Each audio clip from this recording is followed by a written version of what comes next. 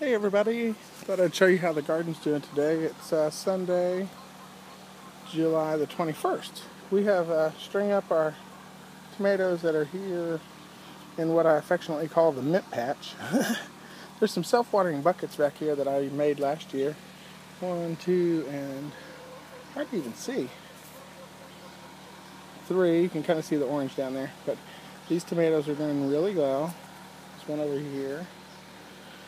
This is uh, cherry tomato patches, except for this one, which is uh, not a cherry tomato. I can't remember the name of it right now, but uh, they're doing pretty well. This is a Sweet 100. And here's a Blondkopfchen. And another Sweet 100 over here. We had to tie them up, and I like to use old t-shirts torn up to make the string because it's soft. These are cotton t-shirts. They're old. They had uh, holes in them and everything else. Instead of throwing them away, we made some ties out of them. Here's my chocolate mint going crazy. And uh, the white datura, moonflower, blooming last night. He opened up. It's still cloudy today, so he's still open. Just a little. But they're doing great. Uh, we made a few changes to the chicken yard. The chickens are out here. Um, one of our dogs actually ran away, or he, he got out of the pen. I don't want to say he ran away. He got out of the pen, and we never could find him, to tell you the truth. We think somebody might have picked him up or something. So this side, which was the dog yard, did some tree trimming there. Um, now we've opened it up so that the chickens can come across from their yard into there. And that gives them more room, which is nice. And the other dog we had, we brought in the house. So I got Alan out in the garden. He's picking green beans, and we're going to go out and see what's going on. Our, our lettuce over here in the yard is still doing good. It's bolting to make seed, and so we're anxiously awaiting the seed. And I like to grow some things from seeds that we collect ourselves. So we'll come out here and see what's going on. This is the field next to us it's actually pretty, for July, it's pretty good. It's in the low 80s. I think it's 82 or 83. Humidity is about 40%. There's Alan working inside the little hoop to cut all the green beans. I was just out here earlier picking off some leaves and stuff off these squashes because the squash beetles keep laying their little eggs and I keep killing them, pick them off and kill them. And then I pick off the leaves and just uh, Actually, I feed them to the chickens. And so far that seems to work. So It's a lot of work on this square foot garden that we got to do. We have a white cucumber growing here in the middle. And there's a white cucumber here we just got.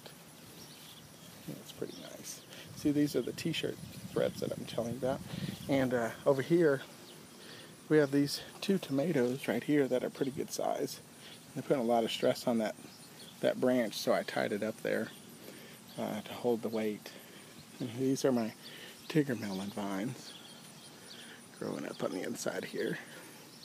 And there's tiny, tiny little melons on. It's hard to see them yet. So we'll come around here. This is a tiny Tim. He's out here in the patch. He's really still small. Here's his, uh, this is, there's the bottom of the, the bed and that's as tall as he is, about maybe a foot tall. But he's fallen over and coming outside the bed. But you can actually see some of those are starting to ripen up. And actually, we've gotten several off there already. Uh, this is the tomato patch. And let me tell you, having never done square foot gardening before, we watched a lot of videos, thought we knew everything about it. And I tell you, until you do it, you don't know crap, basically. Um, these tomatoes are taken over, which is fine. This whole side is pretty much all tomatoes, um, except for the last square foot here, where we have um, chamomile and basil finally coming out enough to do it. That basil is two months old, and I'll tell you what happened is the sun does not get to come over here on this side because of the tomato wall. So I've learned that, that uh, the tomatoes are shading out everything on this side so it's not getting to grow near as fast. But chamomile is blooming. I'm happy about that because we love chamomile tea. Uh, this is my Bolivian rainbow pepper here, and uh, it's doing good. Except it's not really putting on new new flowers, and I'm pretty sure that's because it's kind of getting shaded out on this side. Uh, there's some eggplants blooming in here. Let's see if we can find them on here. There's an eggplant there, and there's an eggplant there blooming. Those are Japanese white egg eggplants, and I'm hoping to at least get a few off of there for seeds for next year. Um, more tomatoes. There's some Aunt Ruby's German green tomatoes, and there's big giant beef tomatoes, and Hey, check out this green bean. and this is a green bean. Hey, Alan. That's huge. And the, these are Kentucky pole beans. That's our first year with those as well. So, um, with these tomatoes, you just weave these. See how they pop out? Just weave them in and out. Be a little bit careful, you know, not like I'm doing, but just weave them in and out of that trellis. They'll get to the top and they're going to probably spill out over the top because this is just, like I said, July, and they'll continue to grow until frost. So, um, here's this one here. And uh, let's see. Down here we have uh, marigolds. And they actually say you could put uh, two on each side, but gosh, you know, those marigolds just take up a whole lot of room. Pepperoncini peppers. Actually have a small little pepper right there blue on there, so hopefully I'll get some of those. There again on this side that is shaded. Oh, my tasty purple. Okay, here we go. It's called a tasty purple bell pepper. Something has eaten a hole in there. Oh, that's not not too good. And here, maybe the culprit. Can you see him? Right there. That is a squash beetle. Oh, I mean cucumber beetle. Yellow with black spots. And the best work on those is this. Oh, he just flew. Dang you. Well, he took off before I could smush him, but I was going to smush him. um, anyway, there's other um, bells in here. Here's a purple one that's starting in there too. But the marigolds are doing great. And then we come over here, and that's the tomatoes. All those tomatoes are planted in there, and uh, they're just turning out to be like a tomato jungle. And uh, so I, I don't know what I'm going to do. Next year, we're not going to do it this way. We're going to plan something different. But I'm sure there's a ton of tomatoes, and if you look, you see that there's these big tomatoes in there. But we're still waiting on them. There's a lot in there to uh, to ripen. We do have one, one big one right over here. See him down in there? Pretty good size. That he's ripening up good. And then on this side is the green beans. This is the Kentucky pole beans. We planted them in just one square. Uh, we planted them like they said, and uh, there are too many in that square. Just way too many in that square. They've taken over that square, and um, and they're up on the trellis. What, baby? Wolf spider. Ah, wolf spider. Well, he's probably eating the beetles and stuff in there. Here's another eggplant right down here. And uh, zucchini in here. Zucchini. Yeah. Um, ah, let's show you some some squash beetle eggs right here. Oh no, larvae. Okay, let's do this. Look right in here. Now these already hatched. So these get to go right up to the chickens. But here's a kale. The cabbage moth keeps laying her eggs on there, and those worms are all over it again. I hate to use Sevin, but uh, I can't just keep coming picking them off, and they keep eating all my kale. Um, here's Alan's little basket of goodies today, and uh, it's growing well. There's some nice uh, banana peppers in here that kind of hard to see. You're there. Oh, nice. That's a dragon's tongue bean. Those a are nice. those. Yay. So here's our peach tree. And our our radishes are gone to seed, which is great. I'm getting ready to pull those out and let them dry because I do believe I've got plenty of seed. And our lettuce is seeding as well. Let's go take these up to the chickens. Here we go.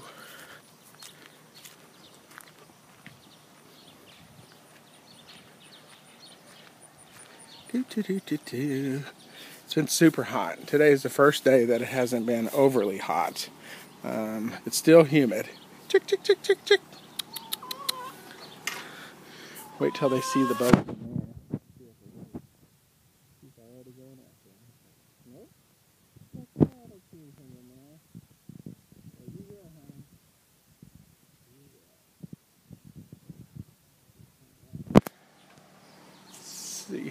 Here what else can we show you today. There's somebody over there in the garden.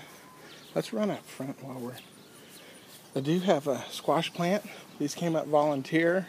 We threw out some old squashes to the uh, chickens last year and they came up this year. Here's another one on this side. And they're the actually the ornamental ones. They're uh, half green half yellow. Uh, here i can tell you a story about getting new plants making sure they're watered throughout the first year in the summer. This one's over here on the side where it gets forgotten, and uh, you can tell there's hardly any leaves left. And uh, I don't know if it'll come out or not. It may have may have done too much damage. Uh, over here's my Jerusalem artichokes, and uh, they're growing well. This is the sunny side. Well, I'd say it's, it's somewhat sunny over here. Uh, it's sunny in the morning and it's sunny in the afternoon. Um, but then during the, the middle part of the day, it's actually shaded. So I didn't really put those in a good spot, I'd say. Uh, but I'm not going to move them. I'm just going to let them do what they do. Here's some more over here at this corner. I kind of put them on the corner so that they get watered whenever I forget about them. Uh, green castor beans, red castor beans. Um, these just came up volunteer. Roses. See, here's our plum tree. This is a red plum. We got him on clearance. We're just babying him to keep him alive and get through this year, and I think he'll do fine. This is another one we got. He's green, and he's got a lot of green growth on him. So I think he's going to be fine. And then here is a, another red castor bean here, which is this is how big they should be for right now. Um, so he's doing pretty good. You can kind of see the scale of how big he is here. Uh, this is a hibiscus. These are hardy hibiscus, and they're pink and red. And actually, there's a pink bloom. Get ready to open right there. Uh, this is my back up so you can see it. Magnolia. Good.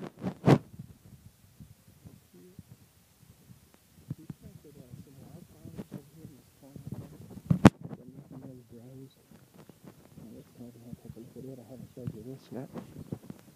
This is one of those wild pack seeds. Um, we just threw the whole pack right here in this corner, and uh, this is the first year. Nice growth. And uh, I see the bees over here and butterflies, so it's worth it to me. But it's great because we just don't do much with it. Here's some seeds, seed pods. We're just going to let it do what it does.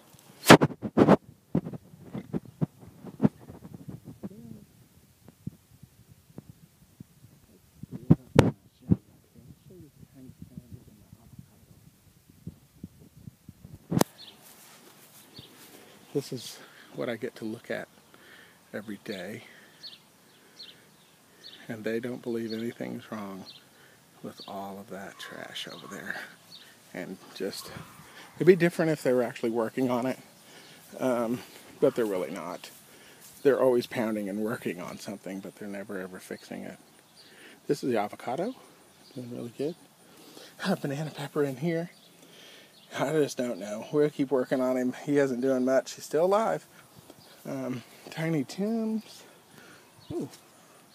Here's one that just whoop, was sitting on the on the uh, deck. There's some chives in here. These are garlic chives. Now this Tiny Tim is taller than the other one. So I got one in the house that I'm actually saving the seeds for, with uh, or for whatever. Um, that way nothing cross pollinates it in the house. Um, these are hydrangeas, little teeny ones. I'd say they're planted in the wrong area too. Hey,